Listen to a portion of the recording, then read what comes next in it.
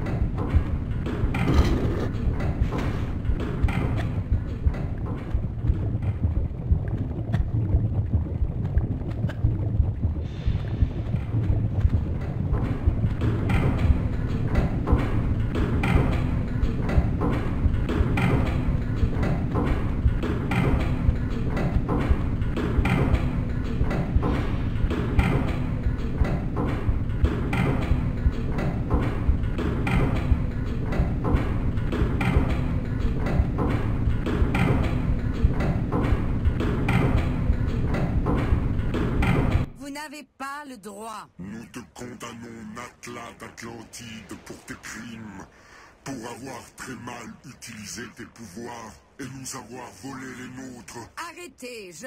pour avoir brisé le triple saut qui dirige et protège notre peuple, et nous avoir envahis avec notre armée, nos guerriers, ceux de nos pyramides, pour pouvoir te servir de la pyramide, du pouvoir de la création, pour semer ton ignoble destruction. Ignoble? Regardez-vous, aucun de vous n'a la moindre parcelle de créativité dans la tête. Vieux fou. Bien, allons-y.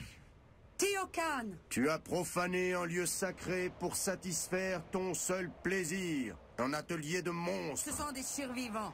Une nouvelle génération. Un troupeau à abattre. Et toi? Nous t'enfermerons dans le néant. Dans tes veines, ton cœur immonde et ton cerveau malade, ton sang gelé ne coulera plus. Tu ne connaîtras plus le repos, Natla Mais toi non plus Ni ton maudit continent